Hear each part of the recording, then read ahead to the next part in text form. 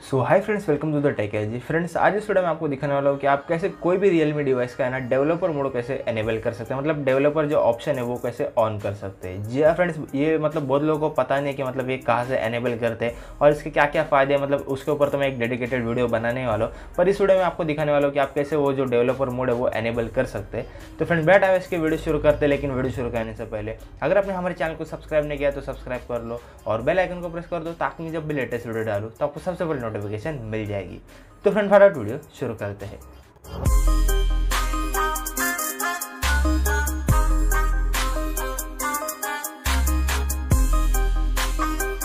तो फ्रेंड्स सबसे पहले यहाँ पर आपको जाना है सेटिंग में। यहाँ पर जाना है आपको अबाउट फ़ोन में। तो आपको यहाँ पर मिल जाएगा। आपको इसके ऊपर क्लिक कर देना है। तो आप देख सकते हैं version base band and kernel के ऊपर आपको क्लिक कर देना है।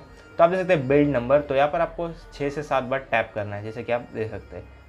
तो यहाँ पर आपका जो पासवर्ड है वो पूछेगा तो यहाँ पर डाल देना। तो आप देख सकते हैं you are in developer mode तो यहाँ पर आपको बैक आ जाना है और आपको जाना है एडिशनल सेटिंग में और स्क्रॉल डाउन करना है। तो आप देख सकते हैं डेवलपर ऑप्शन तो यहाँ पर उसके ऊपर आपको क्लिक कर देना है।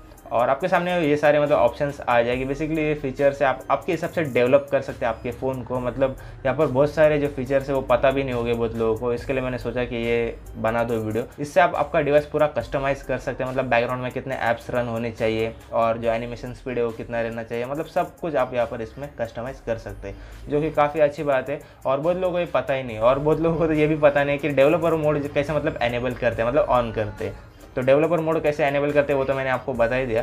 तो अभी मैं एक डेडिकेटेड वीडियो बनाऊँगा कि ये कैसे मतलब आप जो ये सभी जो फीचर्स है, क्या काम करते हैं और कैसे यूज़ कर सकते हैं। तो फ्रेंड्स यही था कुछ इस वीडियो में। अगर वीडियो पसंद आया होगा तो लाइक करो शेयर करो और चैनल को सब्सक्राइब ज़रूर कर लेना। तो फ्रेंड्स मिलते हैं नेक्स्ट वीडियो में।